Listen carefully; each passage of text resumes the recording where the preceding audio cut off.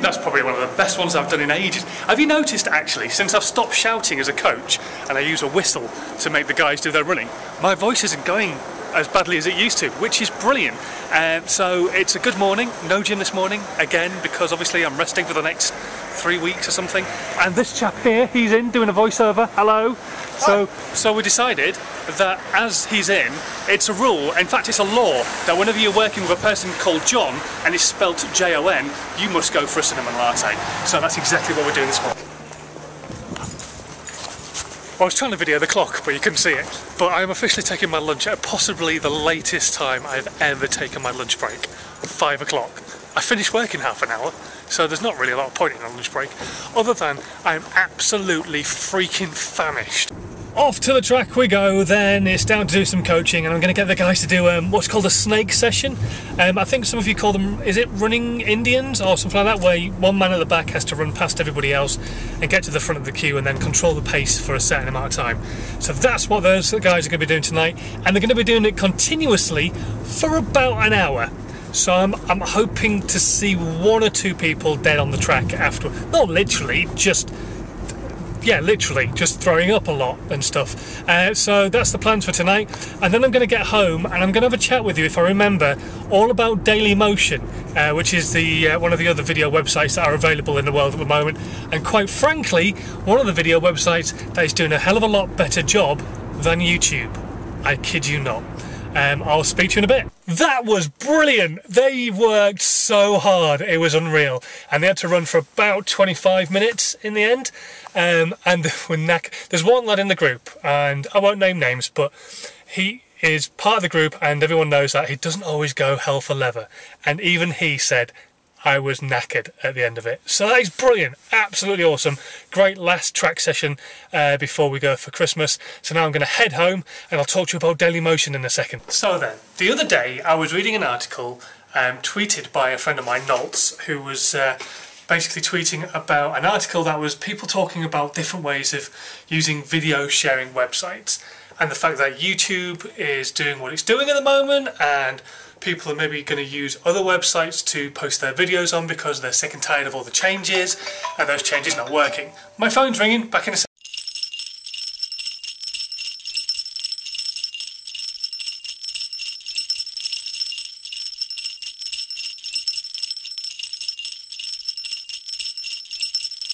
Right, well, I'll have to be quick because I'm going out shopping. But basically, um, one of the websites that they suggested people maybe take a look at and stuff like that was Dailymotion. Uh, so I've been onto dailymotion.com. I posted a video today. It's a little bit of a tester without even mentioning that it existed. And it already has nearly as many views today in the space of about four hours as my video over 24 hours got. Which is just ridiculous. And it's all because they've got things on there that YouTube used to have, but they're still working. Things like tags. You know, you put your tags on your videos now? They don't make any bloody difference. You could type in bum fiddle farts and still nobody would be able to see them so because they just don't work like they used to as tags because people can't search for them. So they do no good. But on Daily Motion they still have them. So I put in first vlog on Daily Motion People type in looking for people for who've done a first vlog, and it's there. And they pick it up straight away, whether it's in your tags or in your title.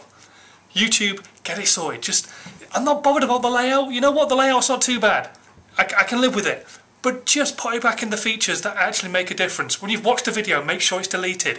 When you're putting in tags, make sure the tags make a bloody difference rather than absolutely no difference whatsoever. When people search for you, make sure that they're brought up. When they, people sub to you, make sure your video actually ends up in their sub boxes rather than at the bottom of a feed where they will never ever see you. So your video gets lost in a massive great big queue and you end up going from, like I used to, with 600 subs, getting about 200, maybe 220 views a video, down to what I'm getting now, about 30 odd views a video, and I've got more subscriptions. That just doesn't work. It's ridiculous. Get it sorted. Right, rant over, going shopping. Susanna has hidden my cake. Cold. I need to find it. Cold. Cold. Babe. Cold? I will go get there. Okay. Cold, cold, cold, cold. Tell me when. Cold, cold. Cold. Am I really freezing cold or am I just cold? Chocolate Yeah, salami freezing cold. in the fridge Okay. long enough to set solid. Warm. I sit it. I can't literally turn around and be from cold to warm. Warm. Warm. Warm. It's there, there it is. There's my cake. You, you, cake thief, you. Well, it's time for bed, but as usual, before I go, I'm going to read through a few of your messages uh, from today's vlog.